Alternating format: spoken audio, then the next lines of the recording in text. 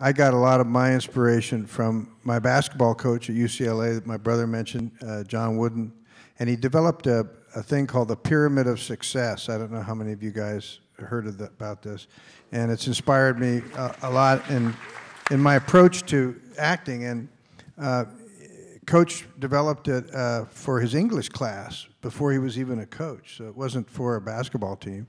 And basically, what it is, it's all these blocks of characteristics that you need to find success.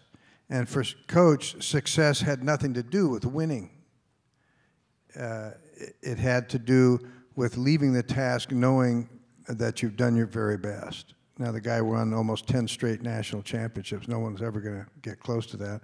And, and uh, the, the cornerstones of the pyramid are in, uh, enthusiasm, joy, and industriousness, hard work. Because Coach said anybody can uh, come to the task with hard work in mind, but when you bring hard work and joy together, then that's when uh, fantastic things happen. And then the very top, and Jeff mentioned the word faith, the pyramid is, is uh, cut in two at the apex faith and patience. You know, it's when, when it's game time, when you've got all the other things and you've built them, and, you know, teamwork and friendship and loyalty and all these other blocks, and you get ready to play the game, you better have faith and you better have patience.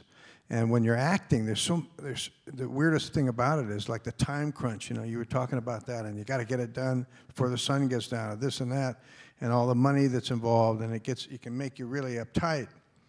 But you're in there with somebody else usually, your teammate, and you have to have patience. You know, if it doesn't come right away, you can't get all squirrely and screwed up because then it's never going to happen. You just got to relax, listen, work with that teammate, and maybe they're going to throw you a pass, and maybe you can score the, the winning basket. You know, you never know.